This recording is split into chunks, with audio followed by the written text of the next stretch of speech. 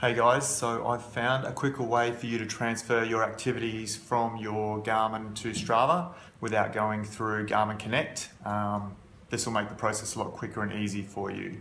Um, so I'll show you how to do it now. Okay, so connect your Garmin into the little USB connector, which is then connected to your computer. Um, this folder here will open up called Garmin. Now click on open folder to view files and then the Garmin folder and then the activity folder. Now these are all the files that are stored on the device and as you can see it shows you the date and time of that activity. Generally your latest activity will be at the top. If it's not, um, you can just click on date modified and that will bring the most recent one up. So that's the most recent one, so drag and drop that to your desktop. And now just memorize the first few numbers. So we've got 597E.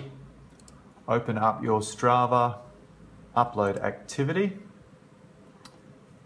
and then click over here on choose files. Now this is all your desktop files. So find the activity, so there it is, 597E. Double click that. That uploads the file and then you can change your activity type here, rename it, add a description and hit save and view.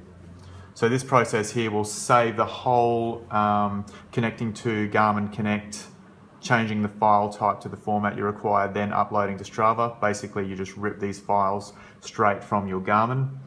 Um, so yeah, that's about it. Thanks to everyone who watched my previous video. Don't forget to subscribe. Um, I will be uploading a lot more videos like this. Cheers.